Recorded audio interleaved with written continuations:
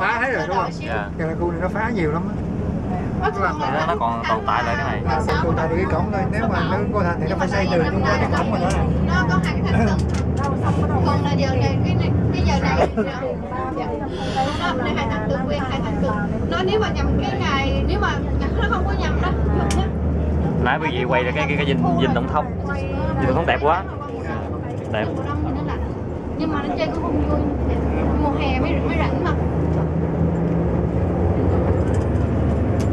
Ai muốn hỏi gì không ta?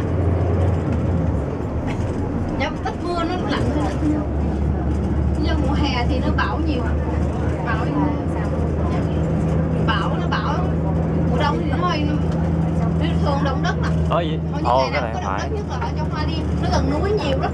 Động đất nhiều lắm còn cao hùng lâu lâu một lần có nhiều cái động đất nhiều cái cũng thiệt hại, cũng nhiều từ nhà cũng sập cũng chết rất là nhiều người. Nhưng mà cái nhà, tại giờ này ta tân tiến người ta có chống cái ờ, mà động đất ấy. nên mấy cái nhà nó cứ lắc thôi chứ nó không có sập xuống.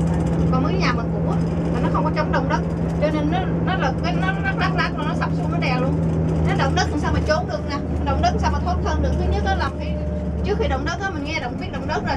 Nó động nhanh ra, chạy ra bò, ra mở cửa, nhà mình lớn là sợ nó nó nó đập sập xuống á đè là mình nhốt ở trong đó đấy là cái chỗ nào mà cao cao nhất á. Còn mấy người kia người ta sợ chết đói đó ta lại ôm cái ờ, tủ lạnh